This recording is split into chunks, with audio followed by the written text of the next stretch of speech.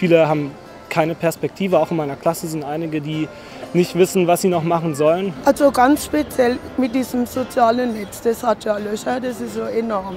Und es einfach menschenverachtend ist. Diese 360 Euro, damals waren es ja noch weniger. In einem reichen Land wie Baden-Württemberg werden die Reichen immer reicher und die Armen werden immer ärmer und ja, das, das darf so nicht sein.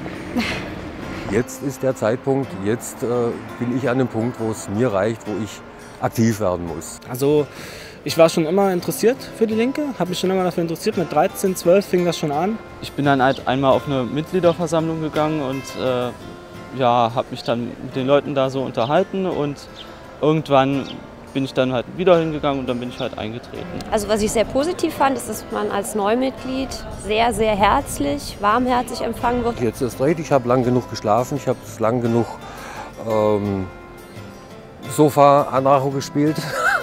auf Worte müssen auch immer Taten folgen.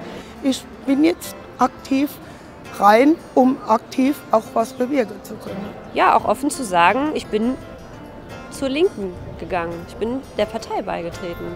Also es gibt dann halt welche, die dann halt einfach sagen, äh, ja, also das hätte ich mir bei dir jetzt gar nicht vorgestellt, dass du, und dann gerade bei der Linken.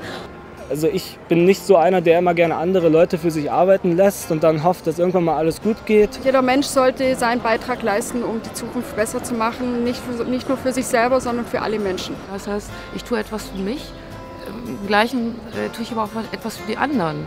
Viele Freunde von mir sind Mitglieder in Sportvereinen und äh, sind nach der Schule, nach der Arbeit, nach Vorlesungen auch noch aktiv im Verein tätig. Und ich bin eben in der Partei tätig nach der Arbeit und das finde ich auch gut so. Und es macht mir Spaß.